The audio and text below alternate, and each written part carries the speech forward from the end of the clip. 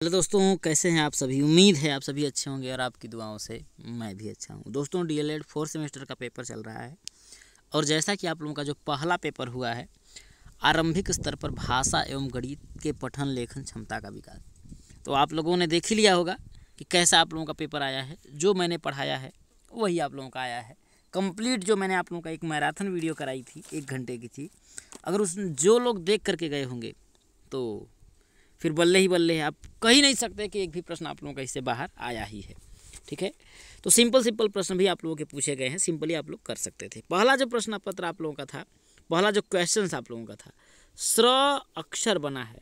तो स्र अक्षर किस चीज़ से बना है? देखिए, श प्लस र के मिल से। तो ऑप्शन नंबर कौन सा हो जाएगा आपका? देखिए, तीसरा हो जाएगा। या फिर स्र का स्पेलिंग लिख लीजिए। स्र का क्या होता है? S, H, R. तो हो जाएगा स प्लस र हो जाएगा। चलिए, अगला है कि स्वर के भेद हैं। स्वर के कितने भेद होते हैं आपके? आप सभी जानते हैं कि स्वर के कितने भेद होते हैं। तीन होते हैं, ठीक है? अगला क्वेश्चन है, च का उच्चारण स्थान। तो आप सभी मैंने बताया था के टी एम के टी एम दो। क जो वर्ग होता है, कंठ से बोला जाता है। जो च वर्ग होता है, वो तालू से बोला जाता है। तो च पूछा है तो च कौन सा, किससे बोला जाएगा आपका? तालू से बोला जाएगा। चलिए, अगला क्वेश्चन क्या है आपका, देखिए। जिन शब्दों के अर्थ समान होते हैं, उन्हें कहते हैं। तो आप सभी जानते हैं जिन और जिन शब्दों के अर्थ समान होते हैं, उसे क्या हम लोग बोलते हैं? पर्यायवाची। क्या बोलते हैं हम लोग? पर्यायवाची शब्द बोलते हैं। अगला क्वेश्चन है कि शुद्ध शब्द इसमें से कौन सा है?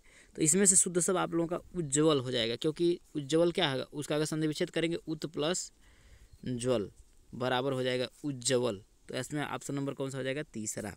सही हो जाएगा। अगला क्वेश्चन क्वेश्चन नंबर सिक्स कि शून्य को किसी संख्या से भाग देने पर भागफल आता है। तो शून्य को किसी संख्या से भाग देने पर जो आपका भागफल आएगा, वो आपका शून्य ही होगा। चलिए आगे बढ़ते हैं। अगला क्वेश्चन आप लोगों का है कि भाग की संक्रियाएँ होती हैं। भाज्य, भाजक, भागफल, उपयुक्त सभी। तो आपका उपयुक्त सभी होगा, क्योंकि आप लोगों ने कोई क्वेश्चन पढ़ा ही होगा कि भाग की संक्रिया में भाजक भागफल का दो गुना तथा शेषफल का पाँच गुना है। है कि नहीं? तो भाज्य क्या है? तो आप देखे ही होंगे तो इस तरीके से आपका उपयुक्त सभी हो जाएगा। अगला क्वेश्चन आप लोगों का है कि आरोही क्रम है। आरोही क्रम मतलब क्या होता है? छोटे से बड़ा। आरोही क्रम का मतलब होता है किसी भी संख्याओं को क्या हुआ? छोटे से बड़ा लिखा जाए। बढ़ते हुए क्रम में लिखा जाए। जैसे हमारी जो लंबाई है, बचपन में हम छोटे थे, अब धीरे धीरे बढ़ रहे हैं तो हमारी लंबाई क्या हो रही है? आरोही क्रम में बढ़ रही है। तो ये आप लोग का आरोही क्रम है। अगला क्वेश्चन क्वेश्चन नंबर नाइन चार सौ पचहत्तर में चार स्थान है। चार कौन से स्थान पर है? तो फोर सेवन फाइव में देखिए, ये इकाई, ये दहाई, ये सैकड़ा। तो ये क्या है? चार कौन कौन से स्थान पर है? सैकड़ा के स्थान पर। तो आप लोग का ऑप्शन नंबर कौन सा हो जाएगा? तीसरा हो जाएगा। अगला क्वेश्चन नंबर आपका दस। बाईस का चौंतीस में गुड़ा करने पर गुणनफल क्या होगा? तो बाईस चौके अट्ठासी बाईस त्याई छाछठ और चा, आठ कितना हो जाएगा? चौहत्तर हो जाएगा। तो आपका ऑप्शन नंबर कौन सा, किस पे चला जाएगा? फ़र्स्ट पे चला जाएगा। अगला है कि निदेशक चिन्ह है, देखिए। तो निदेशक इसमें से आप लोगों का कौन सा चिन्ह होगा, देखिए। तो निदेशक वाला आप लोगों का कौन सा चिन्ह हो जाएगा? ये हो जाएगा। ये तो आप लोगों का एक्सलामेशन मार्क है और ये अर्धविराम का चिन्ह है। अगला, भाषा शिक्षण में शारीरिक समस्याएँ हैं। दृष्टि दोष उच्चारण दोष, श्रवण दोष तो आप लोगों का कौन सा हो जाएगा? उपरयुक्त सभी हो जाएगा। ठीक है?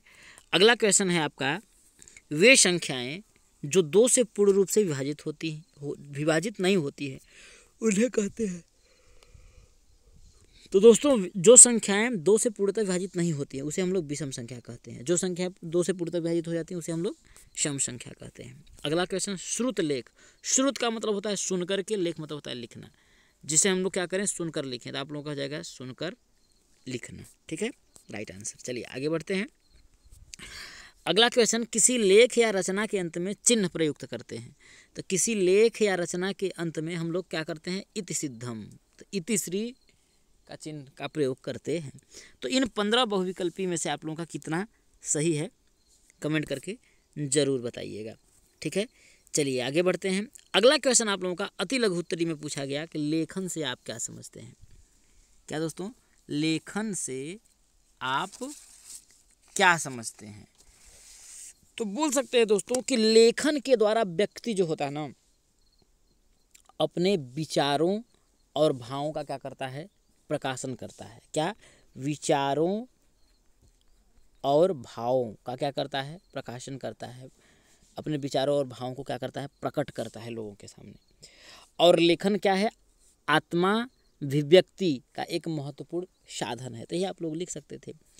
अगला आप लोगों का क्वेश्चन है कि शस्वर पठन से आप क्या समझते हैं? देखिए शस्वर पठन से तो श मतलब साथ में अश्वर स्वर के साथ में, ठीक है ना? तो बोल सकते हैं ना कि शस्वर का मतलब होता है स्वर के साथ पठन करना। आप एक तरीके से बोल सकते हैं कि स्वर सहित पढ़ते हुए अर्थ ग्रहण करने को सस्वर वाचन कहा जाता है। ठीक है? इस तरीके से बोल सकते हैं। यह वाचन की क्या होती है? प्रारंभिक अवस्था होती है। स्व का मतलब होता है साथ में, स्वर मतलब स्वर के साथ में पढ़ने की जो क्रिया होती है उसे हम क्या बोलते हैं? सस्वर पठन कहते हैं। ठीक है? बोला जाता अब देखिए तुकांत शब्द से आप क्या समझते हैं? देखिए तुकांत शब्द होता है ना आ, बोल सकते हैं वे शब्द जिनके अंतिम वर्ण क्या होते हैं? समान होते हैं। या काव्य पंक्तियों के अंतिम भाग में पाई जाने वाली जो वर्णों की समानता को ही हम लोग क्या बोलते हैं? तुकांत शब्द बोलते हैं। जैसे रहन आगे सहन सहन हम लिख दिए रहन सहन। तो इसमें लास्ट अक्षर जैसे आपका न है तो इसमें भी न न आप लोगों का क्या है आपका? समान है, वही होता है। तो वे शब्द जिनके अंतिम वर्ड समान होते हैं। या कोई कविता भी आप पढ़िए, राम रसायन तुम्हारे पास सदा रहो रघुपति के दासा लास्ट में सा सा आ रहा है। तो इसे ही हम लोग क्या बोलते हैं? तुकांत शब्द बोलते हैं। अगला क्वेश्चन है, स्पर्श व्यंजन किसे कहते हैं? तो स्पर्श व्यंजन होता है, देखिए कि जिन व्यंजनों का उच्चारण करते समय वायु मुख के किसी न किसी जो आंतरिक भाग का स्पर्श करके निकल, बाहर निकलती है, उन व्यंजनों को स्पर्शी व्यंजन कहते हैं। क से लेकर के आपका जो प वर्ग होता है, टोटल मतलब पच्चीस जो व्यंजन होते हैं, उसे हम लोग स्पर्शी व्यंजन कहते हैं। ठीक है? हलंत से आपका क्या अभिप्राय है? तो दोस्तों, हलंत का मतलब होता है ना, हलंत मतलब एक हलंत जिन वर्डों को स्वर रहित करने में आप बोल सकते हैं ना, हलंत का प्रयोग किया जाता है। ध्यान रखिएगा। कि या फिर आप ऐसे बोल सकते हैं, देखिए, कि हलंत किसी वर्ड के आधे होने का क्या है? सूचक है, संकेत है, ठीक है? या जिन व्यंजन के बाद हलंत चिन्ह लगा दिया जाता है, उस व्यंजन में छिपा जो अ होता है, वो क्या होता है? समाप्त हो जाता है। देवनागरी लिपि में इसे हलंत हलंत बोलते हैं और मलयालम में इसे चंद्रकला भी बोलते हैं। ध्यान रखिएगा, चंद्रकला इसी हलंत को भी बोला जाता है। तो हलंत आप बोल सकते हैं, देखिए कि जिन व्यंजन के बाद हलंत चिन्ह लगा दिया जाता है, उस व्यंजन में छिपा अ समाप्त हो जाता है। इस तरीके से बोल सकते हैं। अगला क्वेश्चन है संख्या छः सौ छत्तीस में दोनों छः के स्थानीय मानों का अंतर। तो इस छः का स्थानीय मान क्या है? देखिए छः तीन छः में इस छः का स्थानीय मान है आपका छः सौ, इस छः का स्थानीय मान है छः तो छः सौ में से अगर आप छः को घटाएँगे तो कितना आएगा? पाँच सौ चौरानवे आ जाएगा। तो ये आपका आंसर हो जाएगा। अगला क्वेश्चन देखिए उष्म व्यंजन क्या है? उष्म व्यंजन तो बोल सकते हैं कि ऐसा व्यंजन जिनका उच्चारण करते समय वायु मुख में टकरा कर क्या करती है? उष्मा पैदा करती है। उसे उष्म व्यंजन कहा जाता है। जैसे आपका श श श, ह, ये सभी चार क्या हैं आपके? उष्म व्यंजन हैं। अगला है कि गणित शिक्षण के दो लक्ष्य बताइए। देखिए, गणित शिक्षण का दो लक्ष्य अगर हम बोला जाए तो बच्चे के अंदर जो होता है, बौद्धिक मूल्य।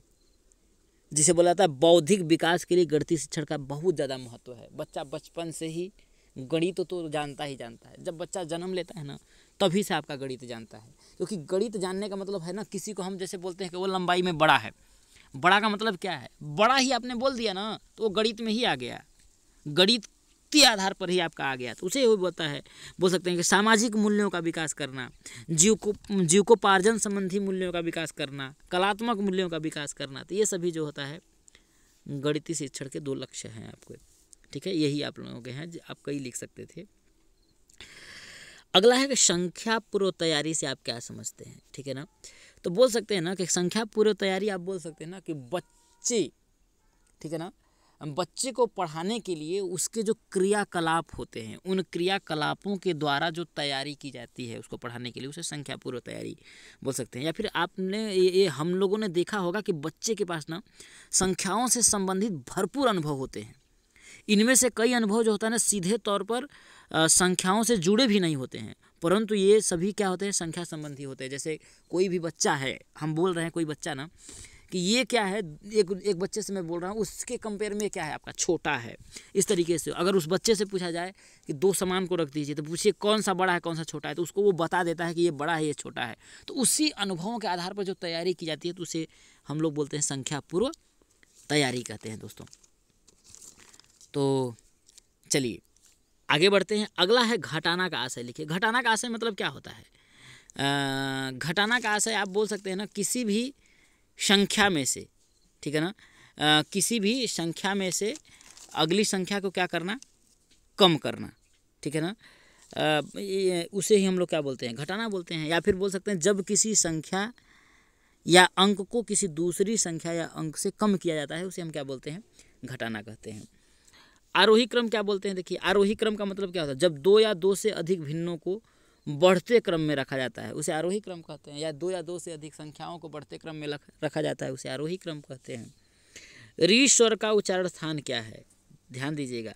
तो री स्वर का जो उच्चारण स्थान होता है, वो कहाँ से होता है? मूर्धा से होता है। किससे होता है? मूर्धा से किया जाता है। अगला क्वेश्चन जो आप लोगों का अट्ठाईस था, अंग्रेज़ी वर्णमाला में कितने वर्ड होते हैं? तो होता है Z Y, X W V U T S R Z Y X W V U T S R Q P O N M L K J I H G F E D C B A मतलब A B C A B C D F G चाहिए तो total कितने word हो जाएँगे आपके? छब्बीस word हो जाएँगे। Z Y S W V U T S R Q P O N M L K J I S G F E D C B देखिए, इस तरीके के वर्ड जैसे मैंने बोल रहा हूँ ना, अगर इस तरीके के वर्डों का आप बोलेंगे ना तो ये आपके ना बौद्धिक विकास का बहुत ज़्यादा काम करते हैं। आपका दिमाग बहुत तेज होगा कैलकुलेशन बहुत तेज होगी। इस तरीके से अटपटांग चीज़ों को हमें, हमेशा बोलना चाहिए। इसलिए मैंने इसको बोला जाता है, क्योंकि छब्बीस तो सबको पता है। लेकिन इस तरीके के वर्ड अगर आप यूज़ कर रहे हैं, जैसे मैंने बोला Z Y X W V U T S R Q P O N M L K J I S G F E T इस तरीके से आप एक बार ट्राई करिएगा बोलने का आप नहीं बोल सकते, मैं गारंटी के साथ कर सकता हूँ। इन वर्डों का इस्तेमाल करने से ना हमारा जो दिमाग होता है ना, बहुत तेज होता है। आप उल्टी गिनती बोलिए, ज़ीरो सौ एक निन्यानवे, दो अठानवे, तीन सतानवे, चार छियानवे, पाँच पचानवे छः चौरानवे, सात, तिरानवे, आठ, बानवे, नौ, इक्यानवे, दस, नब्बे, ग्यारह, नवासी, बारह, अठासी तेरह सतासी चौदह, छियासी, पंद्रह, पचासी, इन सब चीज़ों का अगर आप बोल रहे हैं ना, आपका दिमाग बहुत तेज होगा, गणित आप लोगों के लिए चुटकिल हो जाएगी। इस बात को आप लोग ध्यान रखिएगा। अगला है कि लोकगीत से आप क्या समझते हैं? क्या दोस्तों? लोक गीत से आप क्या समझते हैं? देखिए लोकगीत का तात्पर्य होता है ना लोक के गीत मतलब इस संसार के व्यक्ति जिसे कोई व्यक्ति नहीं बल्कि पूरा लोक समाज अपनाता है उसे लोकगीत कहते हैं। इस तरीके से बोल सकते हैं। या लोकगीत में बोल सकते हैं ना लोक में प्रचलित लोक द्वारा रचित है कि नहीं है? आ, लो, लोक बोल सकते हैं ना कि लोक में प्रचलित लोक के लोगों के द्वारा या लोक द्वारा रचित लोक के लिए लिखे गए जो गीत होते हैं, उन गीतों को लोकगीत बोलते हैं।